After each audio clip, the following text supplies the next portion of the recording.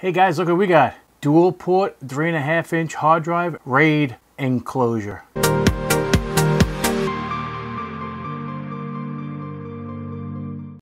Hey guys, Joeteck here from JoeteckTips. We're going to be reviewing the Vantec 3.5 inch RAID 1 RAID enclosure. And we're going to do doing the unboxing of it as well. Relatively inexpensive. This is less than $50 on Amazon, which is a home run. Let's take a look at this real quick. Let's see. Here's the enclosure. Now remember, this is a diskless enclosure. You must provide the hard drives very nice. The accessories, external SATA cable, USB 3.0 cable, screws for the hard drives, nice hard, nice enclosure stand. So this is nice, so you don't have to worry about it just in case. It's, you know, you want it to be nice and sturdy. You have a stand, that's nice external power supply. Now the reason why I bought this one is because this is a 12 volt, should be a 12 volt, 3 amp power supply. Now I got this in a 12 volt because of my external power that I have because I'm running it off the grid. So I needed it to be 12 volt compliant. I didn't want to have to have an AC adapter within the enclosure. I wanted to have an external 12 volt so I can plug it into my batteries. So this is really simple. So really all we have to do now is just install the hard drives. Can't imagine it being all that difficult. This is relatively straightforward. Take it apart, insert the drives, put it back together again, and plug it into the system. And that's that. And that is it.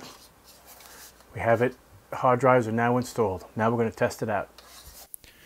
All right, here I decided to use a 256 gig solid state drive because I wanted to see the full performance of this uh, external USB hard drive.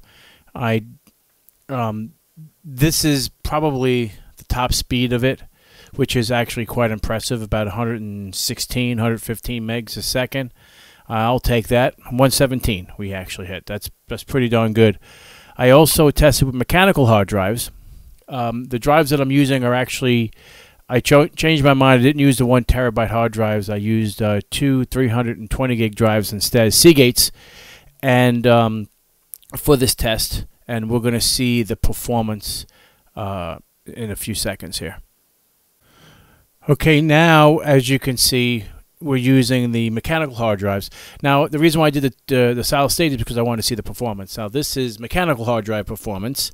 Now, using an older drive, this is 7200.10 Seagate drive. So if you have those drives, they will work in this enclosure. And we're achieving about 72 megabytes per second. Um, that's respectable. This is a very, very good enclosure. Um, we're copying over like over almost six gigs worth of data and it'll do it in a, in a minute or so and that's very impressive. So just about six gig worth of data in about a minute and 45 seconds. That's impressive. I mean that's pretty good. I mean not bad.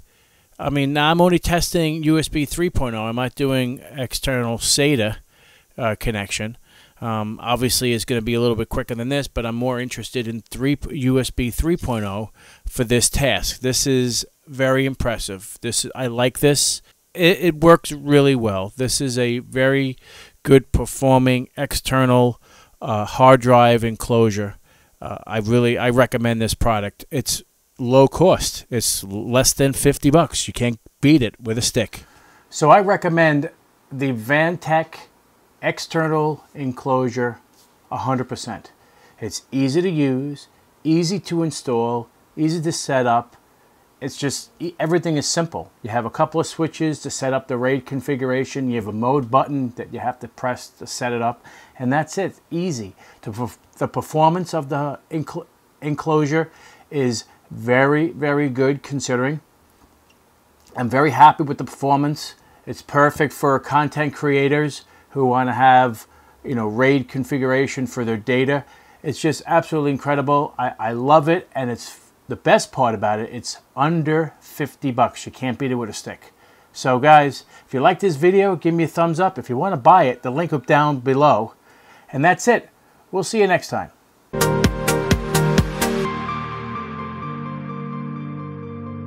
Creative Labs iRaw. Plug it in like, like this. The inside of this is really impressive. 100A in the Prius.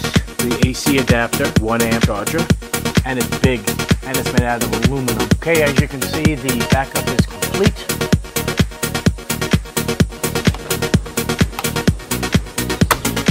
Like so. Now you can create the RAID array. I mean, for the, for the price difference between the two,